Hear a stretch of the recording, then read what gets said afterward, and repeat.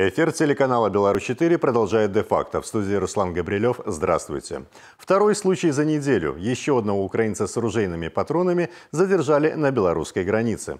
В пункте пропуска «Новая Рудня» во время досмотра автомобиля пограничники в подлокотнике между сиденьями обнаружили 9 патронов к охотничьему ружью 20-го калибра.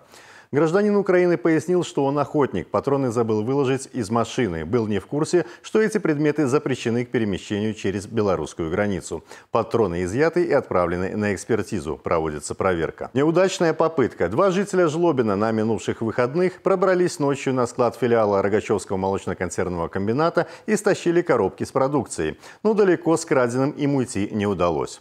Воров заметила кладовщица. Она их спугнула, те бросили груз и быстро ретировались. Женщина обратилась на КПП, там нажали тревожную кнопку. Сотрудники милиции, прибыв на место, выяснили, что неизвестная часть коробок успели перебросить через забор, несколько осталось на территории склада. Несостоявшихся воров задержали спустя несколько дней. Один из них оказался бывшим работником склада. Мужчина обвиняется в покушении на кражу. В Калинковичах автомобилист сбил 50-летнюю женщину, которая шла по краю проезжей части.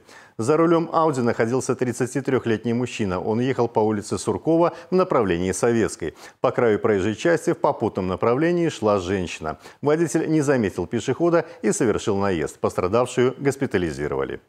Такой обзор происшествий к этому часу. Оставайтесь с нами и берегите себя. Я Руслан Габрилев. Благодарю за внимание. До свидания.